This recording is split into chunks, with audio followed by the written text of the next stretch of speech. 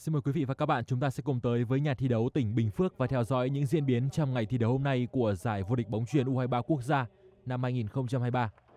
Hai trọng tài là bà Trần Thị Ngọc Diễm và ông Phạm Duy An chuẩn bị điều khiển trận đấu cuối cùng ở bảng C, bảng đấu của các đội nữ. Và đây sẽ là trận đấu xác định được đội bóng nào đứng thứ ba và đội bóng nào đứng ở vị trí cuối cùng tại bảng C cuộc chạm trán giữa Zelesimco Thái Bình và Vĩnh Long.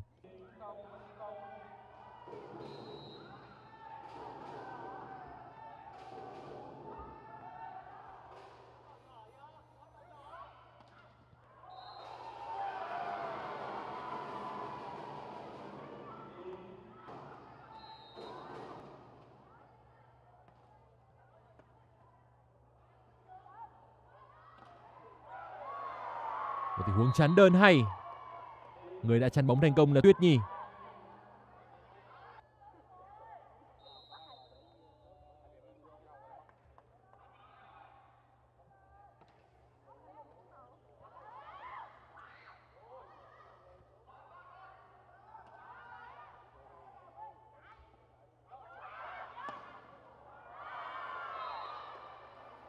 mười sáu, mười chín cho Vĩnh Long.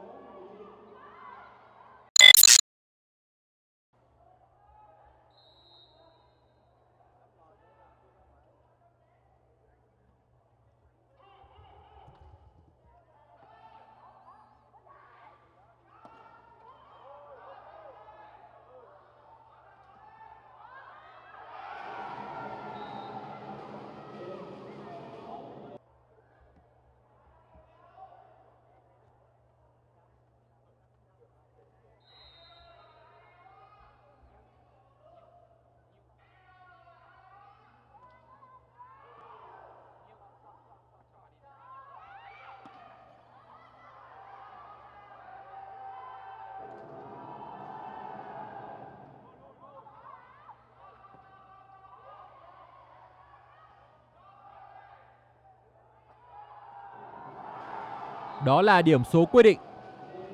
Pha đập bóng dọc biên tốt của Lê Thị Mai Xuân. Và set đấu thứ nhất khép lại với chiến thắng 25-16 cho Jelesimco Thái Bình.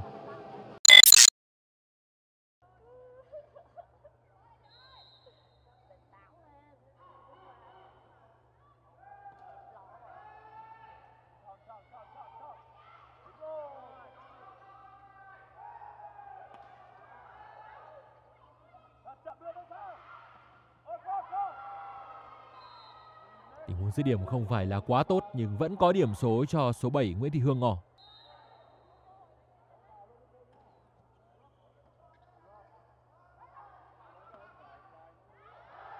Vẫn có điểm. Phòng thủ hàng sau của Vĩnh Long là tương đối dở xét đấu này.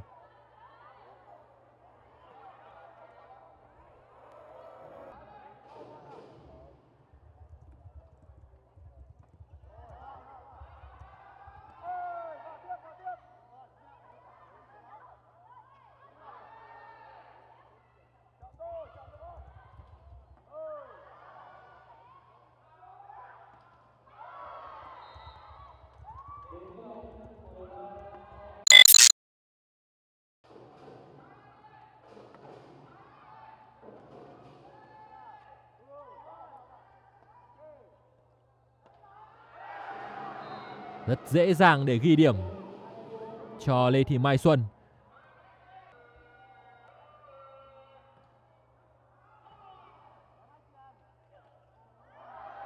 Bóng ngoài mất rồi và như vậy là phần thắng trong set đấu thứ hai đã thuộc về Chelesipco Thái Bình. Set đấu còn đơn giản và dễ dàng hơn so với set đầu tiên.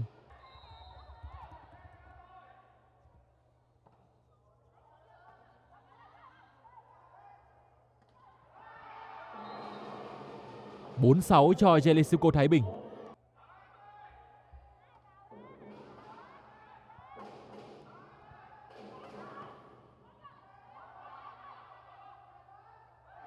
Rất hay. Đó là Lữ Thị Phương.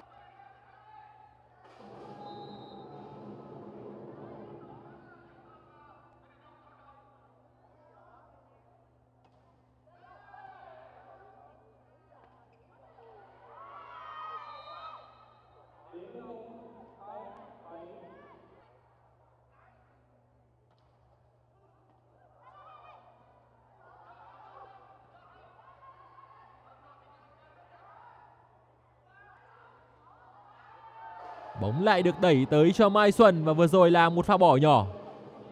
11 9.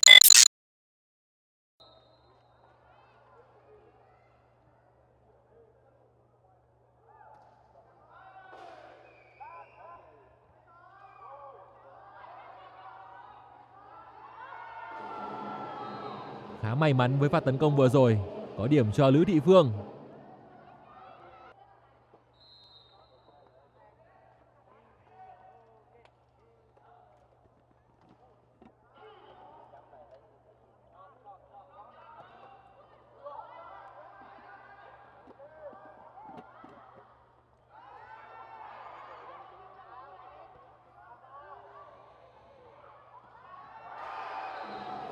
Đó là Lê Thị Mai Xuân.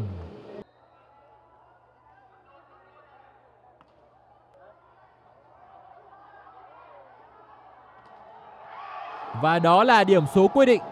Chiến thắng 25-20 trong set đấu thứ ba dành cho Chelesico Thái Bình và Trung cuộc. Họ đã hạ Vĩnh Long với tỷ số 3-0, 25-16, 25-13 và 25-20. Vĩnh Long đã thi đấu tốt ở set đấu thứ ba nhưng chừng đó là chưa đủ. Và như vậy Chelesico Thái Bình sẽ là đội bóng kết thúc bảng C với vị trí thứ ba. Họ sẽ đối đầu với đội nhì bảng D là Kinh Bắc Bắc Ninh.